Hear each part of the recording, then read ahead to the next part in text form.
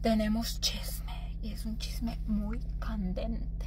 A ver, denme un minuto, un respiro. Voy a leer los detalles otra vez para que no se me escape nada. Este argüende es de la Congregación Real del Sol en Saltillo, Coahuila. Pues resulta que el anciano coordinador de nombre Enrique, no vamos a decir apellidos, pero el nombre es Enrique, y es el anciano coordinador de la Congregación Real del Sol en Saltillo, Coahuila. Nada más puede haber un anciano coordinador y ya con el nombre, pues ya inmediatamente los de su congre van a saber quién es. Es casado y con tres hijas, ¿sí? Nos dieron lujo de detalle. Según el hombre de una reputación intachable, pues no. El anciano coordinador le anda pachurrando los frijoles a una precursora regular. Háganme el favor. Ay. Estas cosas que suceden en el pueblo tan limpio de Jehová.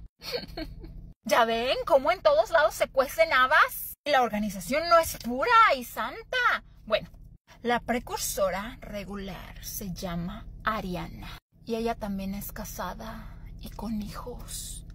Pero el anciano va a su casa por las mañanas cuando el marido no está, porque el marido es un alcohólico, supuestamente, ¿verdad? Eso es lo que me dijeron. Y cuando los hijos de la Ariana se van a la escuela, pues que llega el anciano coordinador Enrique a pachurrarle los frijoles, a darle con todo quiere ponerle Jorge al niño. Ah, no, Enrique, Enrique, Enrique. Porque pues con la esposa nada más tiene tres hijas. Así que hagan con esta información lo que quieran.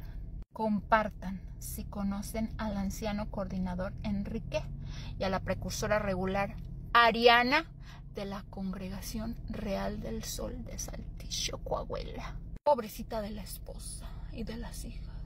Y pues del esposo de la Ariana. Ay, ¿por qué les gusta andar haciendo esas cosas? Eso de las infidelidades es muy malo.